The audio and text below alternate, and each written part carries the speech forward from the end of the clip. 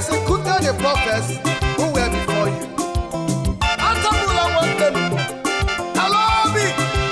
Who the church? Hallelujah. Amen. Hmm.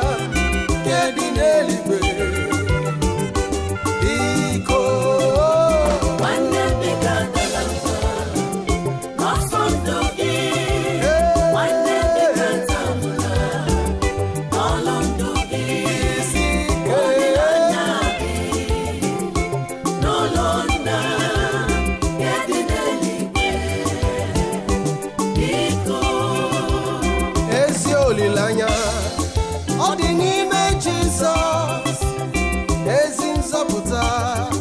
Ọ dị n'ime Chukwu. Romans 5:3 and 4 More than that, we rejoice in our suffering, knowing that suffering produces endurance, and endurance produces character, and character produces hope, and hope does not put us in shame has been poured into our hearts. Through the Holy Spirit who has been given to us.